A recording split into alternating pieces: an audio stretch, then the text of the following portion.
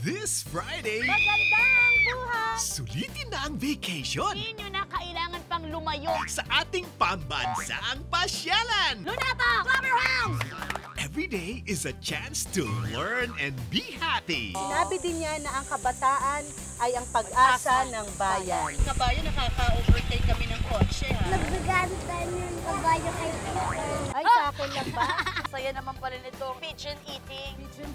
Pigeon City. 8 a.m. is magandang buhay time.